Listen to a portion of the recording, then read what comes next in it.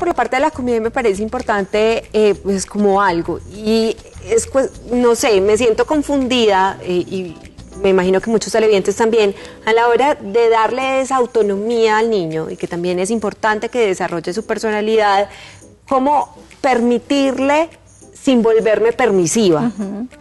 ¿Me, me Sí, hice entender? sí. Nosotros normalmente somos los que escogemos lo que ellos comen.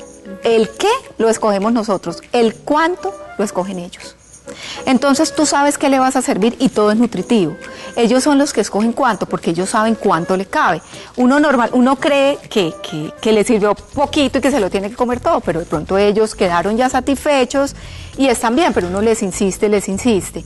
Hay una herramienta que son las opciones limitadas y que yo lo he hecho con mi hija y es que yo les sirvo eh, cuatro cositas. No quiero, no me quiero comer todo. Bueno, amor, escoge dos cosas del plato y lo que quede te lo sirvo a la comida.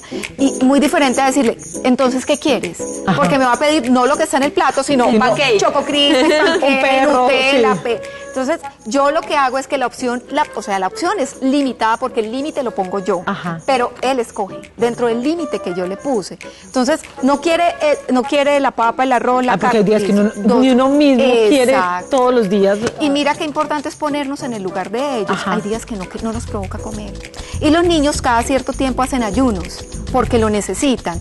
Y uno es desesperado porque, claro, como Este es un niño no quiere comer, va a perder Claro, peso y como es un tema de nutrición, Sí. que es algo, pues obviamente tiene que ver con la salud, nos estresamos mucho. Y nos estresamos y ellos se estresan también. Lucerillo. Sí, por aquí varias eh, televidentes que a través del inbox están escribiendo. Sandra, por ejemplo, dice que quiere saber eh, cuando los castigamos con algo que les gusta, que ya sea como que ese castigo no es lo mismo, dicen eh, que es por unos días y uno le quita el castigo en la mitad de, eh, de, de los días. Es algo más Sí, o menos así. no es consecuente. Ajá, bueno, el castigo, la noticia es que el castigo no funciona. Porque el castigo detiene la conducta en el momento, pero no es a largo plazo. Entonces, mañana vuelve y la hace, pasado mañana vuelve y peor. ¿Qué pasa? Que, que tenemos que tener herramientas que sean consecuentes, pues con- precisamente con que somos maestros y ellos están aprendiendo. Cuando yo quito un privilegio, hoy puede que llore, mañana un poquito menos, pasado mañana no, ya no quiero. No le que ya no puedes ver Pepa, entonces lloró. Y al otro día no es que ya no me gusta Pepa. Entonces le quito el parque. No, y lloró. Y al otro, no es que ya no quiero ir al parque. Hay muchas herramientas, están las consecuencias lógicas, están las opciones limitadas, eh, las preguntas abiertas. Las preguntas abiertas son mágicas con ellos. Eh, nos vamos para donde la abuelita, ¿qué tienes que hacer para que salgamos ya?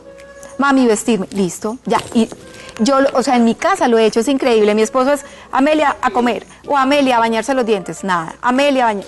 Amelia, ¿qué hay que hacer para que tus dientes estén limpios? De una va y se los lava.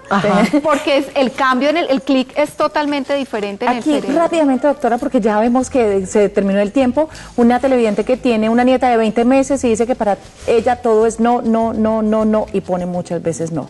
Otra que tiene un hijo de 20 meses y tiene un problema con la comida, el desayuno, el almuerzo, dice que todo lo vomita y están desesperados, no saben qué hacer.